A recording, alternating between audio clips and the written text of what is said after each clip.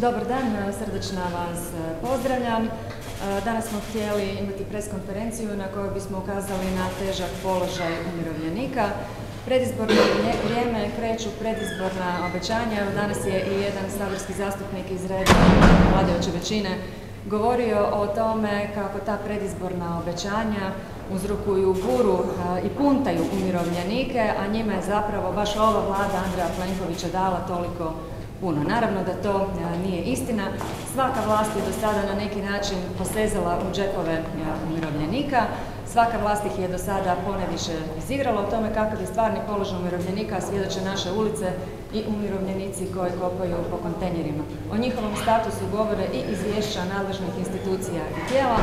To je skupina koja je u najvećem riziku od siromaštva, zdravstvene usluge, socijalne usluge vrlo često su im e, nedostupne.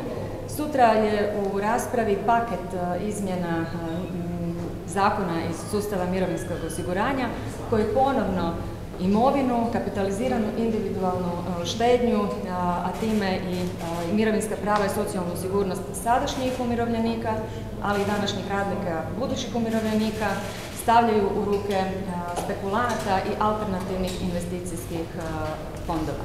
Protivimo se takvoj reformi, zato što nemamo povjerenja u ovu državu, niti u njezine kontrolne e, mehanizme. Kako su kontrolna tijela e, REGOS i HANFA do sada kontrolirali sustav upravljanja mirovinskih fondova, vidi se po čitavom nizu neistraženih e, i nerazjašnjenih afera do sada. Danas je uz mene o tome trebala govoriti Dragica Trumbetaš, predsjednica stranke Hoćemo pravedno, ta stranka okuplja velik broj umirovljenika koji su i prethodno bili politički aktivni upravo u onim umirovljeničkim strankama koji su za sitne novce i sitne obećanja u prethodnim izbornim ciklusima zapravo izdali svoje e, interese i umirovljenike, a u korist e, današnjih e, vladajućih struktura.